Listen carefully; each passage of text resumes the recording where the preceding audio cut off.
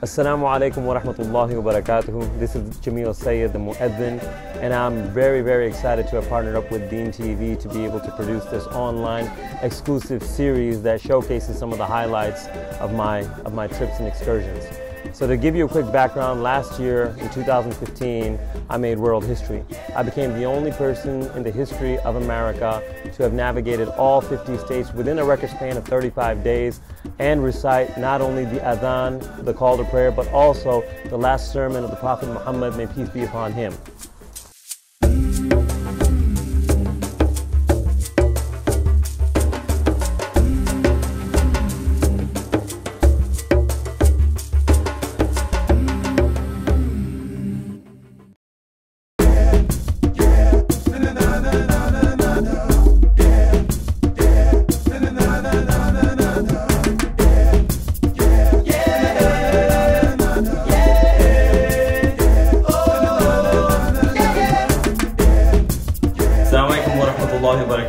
Jameel Syed the Muadhin, and we're here in Banana Republic. In a pinch, R2D2 got left in Atlanta, right? So because of that, we're here in Banana Republic, and these lovely ladies are helping us in this time. In this 11th hour, right before I go on stage, a whole new wardrobe change. Noor Tagouri, hopefully you approve of this message. So I was just gonna say that, look, so you know, this is really quickly, this is what happened. And when it happened initially, it was panic, we thought it was bad, right? But the reality of the matter is, is that something amazing came out of this. We had an opportunity to get a whole new wardrobe on Delta and at the same time do dawah to these people over here and let them know that there's an event called Muslims for Memphis and there's a guy who ran around in 50 states made adhan as well and they were happy to take pictures and be a part of all of that. That's a case study. That case study is more valuable than the bag at this point. So I was just gonna say, look, God works in mysterious ways, right? What you thought was a catastrophe turned out to be an upgrade in my wardrobe of uh, compliments of Delta. Fly Delta. Right? Exactly. I'm not getting paid for that endorsement. Well, I guess I am. You're getting compensated. That's right. Definitely,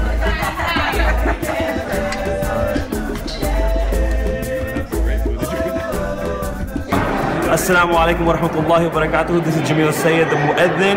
Behind the scenes, this is, OG Rob Nasty, that's what's up. Ali Elahi, Safi Khan. Safi Khan, that's right. We control, we run things here. We really do. Behind the scenes, Muslim Memphis 2016, hashtag it. You ain't ready for this. All right. Assalamu alaikum wa rahmatullahi wa barakatuh. This is Jameel Syed, the Muadhin, sitting amongst the, uh, the scholars, the light, the ustad, our teachers, a blessed gathering. What you can't see over here amongst all of the bright faces are the malaika that have gathered. You know, may Allah subhanahu wa ta'ala accept from all of us.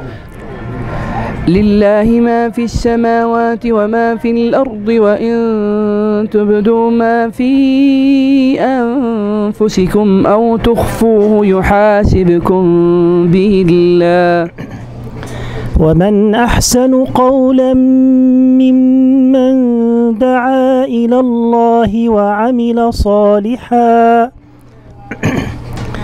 وعمل صالحا وقال إنني من المسلمين. إن الأبرار لفي نعيم. وإن الفجار لفي جحيم Jameel Syed here. I'm in Olathe at the IHOP, and we just got done with this amazing session with some of the best reciters across America. And you know, we were reciting, and I think they were saying something. So, whatever you'd like to say. I appreciate it. Yeah. The music was beautiful. Right. And they It's were, a blessing.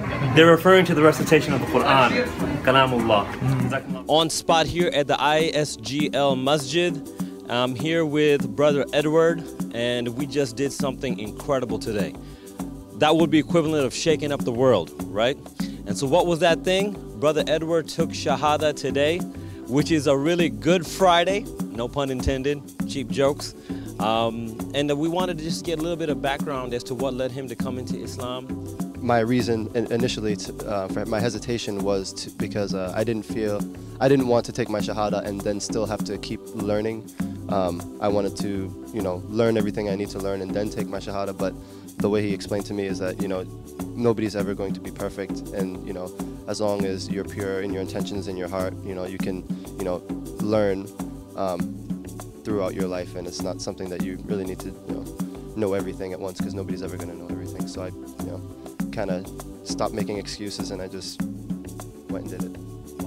I don't really have that big of a family. I don't have a family at all. I was raised in foster care, and so without really having you know positive influences to sort of guide me towards the straight path, um, and without having sort of a home or a cornerstone where I can you know come back every day and return every day, and you know be amongst my peers and you know know that I'm living for more than just right now, today, and um, myself.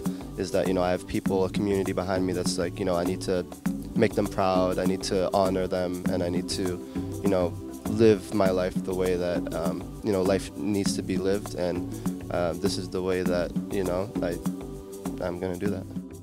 Here I'm on campus at Lawrence University of Kansas and we're at the athletic store and uh, we're about to go and do some something incredible. We're going to go and raise the call to prayer uh, in center court and here at the Jayhawk facility and I've got some friends over here and I was wondering as I was perusing through the merchandise, you know, what does Rock Chalk Jayhawk stand for? So, all right. It's basically the actual chant from Rock Chalk used to be from the actual science club back in the day and that's what they would chant all the time. And it just kind of progressed from there. And like he said the rock chalk came from the limestone as limestone is chalk. Uh, and the limestone is, what KU is built on. So that's pretty much it. Allahu Akbar Allahu Akbar. Allahu Akbar Allahu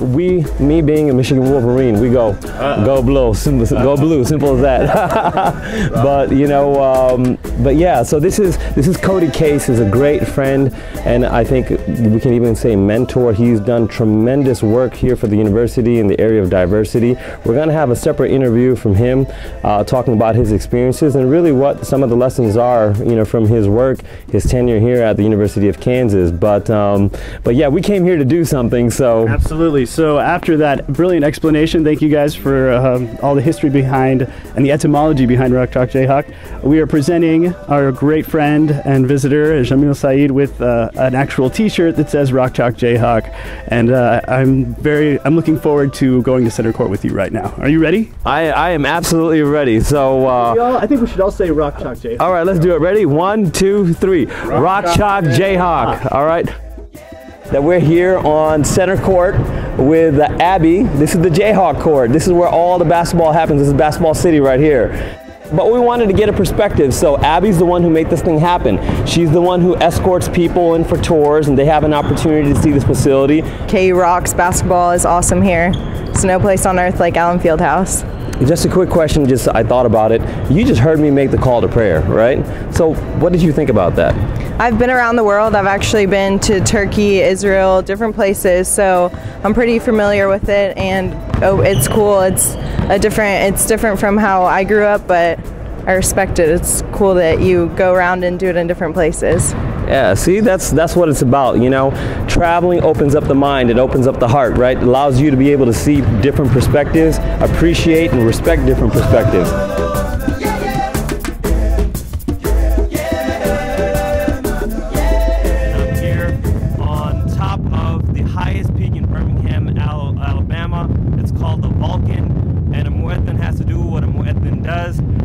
Is the adhan. It's pretty windy.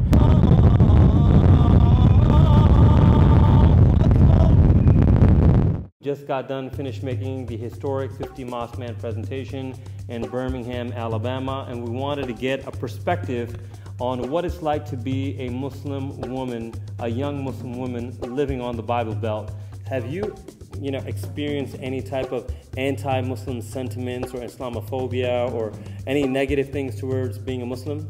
Um, on, on a daily basis, no, but um, multiple times I have received um, some hate messages and uh, things like, you know, you're a raghead, you're never going to get anywhere in life, or it was other things. I, you know, I do a government class and I've had people tell me, you know, Trump-like stuff, like, you know, because you're, you're, an oppressed woman, you're never going to, oh. again, get in anywhere in life. And so, but with every hate crime, people, I think with one hate crime, we'll get like two other people saying some really nice things, and then we'll get curiosity about Islam. So I get to tell them about what Islam is about, and in that, those people find peace and love, um, and so they learn more about Islam. And so hopefully, I hope one day that process continues to the point where that specific person Islams. And so, inshallah khair, I think that so, wow, this is so a good were, process. So, you were able to take something negative and turn it into a positive, right? Yeah, I was actually um, on a panel yesterday with Leadership Birmingham, um, and there were multiple different ethnicities and backgrounds. I was the only Muslim there. Um, and after I finished, uh, one man came up to me and he was like, out of all five people, your perspective was the most optimistic, um, and it was um, the best. Um, and, he, and he really praised Islam. I think I was the first Muslim he met, which was really wonderful. And before I even did the panel, I wasn't prepared. I knew nothing about it. I totally winged it. But um, alhamdulillah, I asked Allah subhanahu wa ta'ala, may Allah subhanahu wa ta'ala make me um, a good model for Islam because I'm not at the perfection yet. And so, alhamdulillah, it was, it was really wonderful. Okay, excellent. So tell us about the general community in Birmingham. What are they like? Well, Birmingham Islamic Society is amazing. It's like a family community, and we haven't experienced any threats or anything. Okay, but like I mean, as far as like living amongst you know the non-Muslims in the area, how you how do you find them? Oh well, the people that surround me are very like friendly and nice, and they're actually very like respectful of my religion. Uh, right behind me, we have a LCD screen that talks about or shows how many times or how many days have gone by without the cell phone going off and this is Imam Bashir uh, from one of my most favorite countries in the world, Turkey, right? And uh, alhamdulillah, we've been his guest, and I, I delivered the last two khutbahs. I'm the Imam of this Masjid, Islamic Society of Greater Lowell. I've been here for two and a half years. I was born and raised in Brooklyn, New York. Salams to all my Brooklynites. And um, yeah, it's pretty much who I am and what I do. And this is our masjid. And as Allah subhanahu wa ta'ala says, and al masajid lillah, this is one of the houses of Allah. And anywhere you go in the world, as you know better than most, um, these are all the houses of Allah. It's no different from any other community or any other masjid anywhere in the world.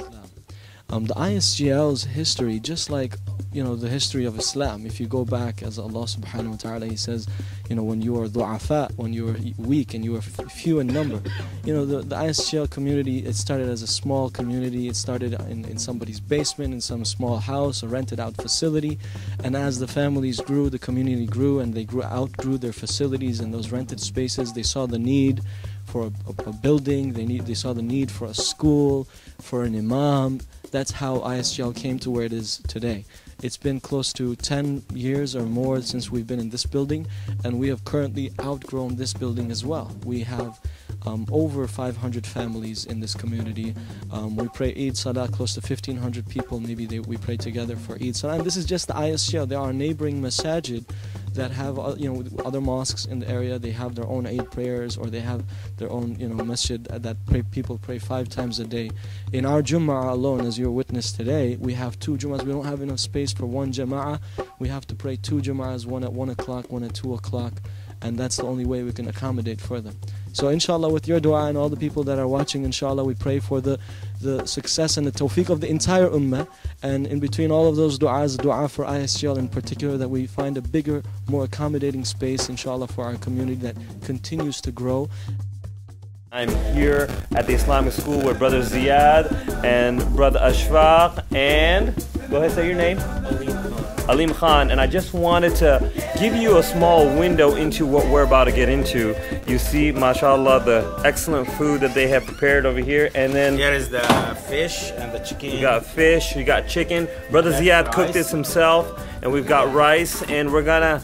Oh, I, say I salam, Sammy. All right, very good. I made the hummus. He made the hummus over here, so we're about to get into this food real quick, right before we pray Salat al and then engage the entire school and um, and share that on social media. I'm at the IS school here in Birmingham, Alabama, and you see the kids having a good time out there playing some soccer. This is what happens. You know, Muslims, they learn about Islam, they take care of academics, and we have sports. Very healthy. Shout out to Mari Gray. This is the IS school, and we're in the Quran lab. So uh, I wanted to first of all introduce you to the chef. My name is Tariq Ziad. Tariq Ziad, he's from Jordan. Yes, Just want to let Yes. show, shout out to Jordan. And brother Tariq, you know, tell us a little bit about you know yourself, what your role is here in the Quran lab. Yeah, Alhamdulillah Rabbil Alameen that Allah subhanahu wa ta'ala has blessed us with this Quran lab. It is very, very unique. And this is subhanAllah, uh, Allah subhanahu wa ta'ala has blessed us with this idea that uh, help us, help the students to memorize the Quran al-Kareem with the technology. MashaAllah. That's excellent. Using, using the technology. If you can see, uh, we, we are using the touch screen, uh, we are using the headphones, we are using everything possible to make students love the Quran more. So tell us a little bit about technology and how the kids respond to that. Yeah, Alhamdulillah Rabbil Alameen, as you see, as you can see that we have smartphone. The, all the students, they, they love the, this technology because, because they can see, they can hear, they can touch also the ayat. If they want to uh, know the translation, we can see them, we can recite it, we can everything. So for example here, Bismillah. Wow, that's pretty awesome. Yeah, so we can use it, we can, uh, Alhamdulillah Rabbil they can use it hand, hand by hand, Alhamdulillah Rabbil I hope you enjoyed the show. As a witness to the landscape of Muslim America, I think it's evidently important to concentrate on the tradition and the saying of the Prophet Muhammad, may peace and blessings be upon him. Inna Allah jamilun yuhibbul jamal. Indeed, Allah is beautiful and He loves that which is beautiful. And that's what we have tried to showcase to you today through this small little project that we'll be producing quarterly. So um, tune in to Deen TV next time. In about four months, we'll produce another video. I will be launching my own show uh, in Ramadan called The Adventures of Jameel Syed the Muadhin. Look out for that. Follow us on Instagram, Facebook, and Twitter. My handle is The Muadhin, official hashtag 50 Mosque Man. Until next time, Assalamu alaikum wa rahmatullahi wa barakatuh.